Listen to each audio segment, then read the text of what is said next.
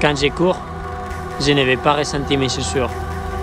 Je vais retrouver la simplicité de la nature, comme les premiers hommes.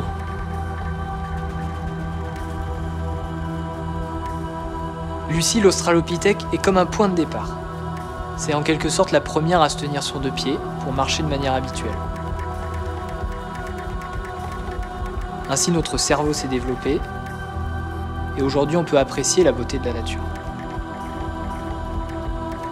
Le problème, c'est que la technologie nous en a éloignés.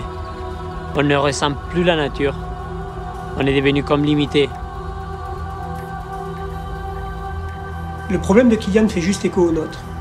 L'industrie de la chaussure a atteint ses limites, notamment parce que les envies des utilisateurs ne sont pas suffisamment écoutées.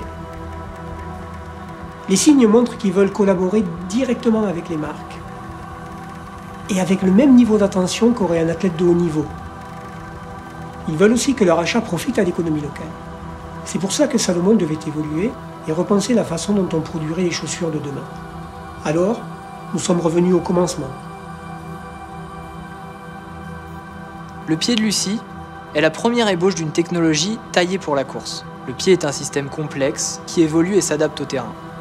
Avec Mesh, on a fait en sorte que la technologie revienne à épouser cette nature. On est une équipe de passionnés.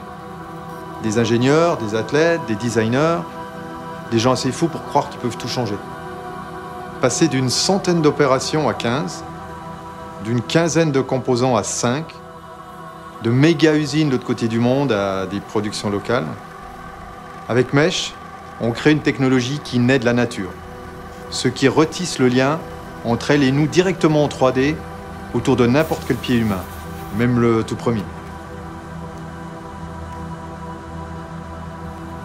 La tête du métatarse de Lucie était en forme de V, large à l'avant, avec un hallux, le gros orteil, plus court et isolé des autres. Pour créer une mèche, on commence avec ce qu'on appelle le fit anatomique. Scanner le pied pour thermoformer le squelette de la chaussure. Ensuite, on passe au fit biomécanique. Lucie se tenait parfaitement droite et utilisait tout son pied. Pour ce qui est de la course, il est plus probable qu'elle utilisait la partie avant. Ça impacte par exemple le design et la géométrie de la semelle intermédiaire, notamment au niveau de l'articulation des métals.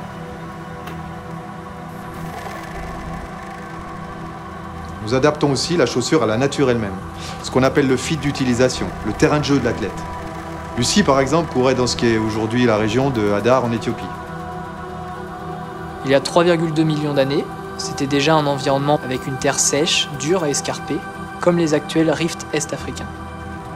Et c'est précisément ce pourquoi une de nos semelles extérieures a été conçue.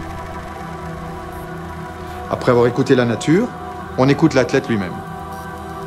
Par exemple, Kylian aime courir avec le strict minimum autour du pied. Je suis sûr que Lucie aurait eu les mêmes préférences. Mesh, c'est la chaussure parfaite, parce qu'elle s'adapte parfaitement à ce que vous voulez, qui que vous soyez. Mesh est une extension naturelle du pied. Un fil qui relie l'homme à la nature et à sa vraie nature. Mesh n'est pas une révolution, c'est une réévolution. Un redémarrage qui crée de nouvelles fondations. Un schéma directeur de comment la chaussure idéale devrait être pensée. C'est la première version du plus parfait des outils de running depuis le pied humain.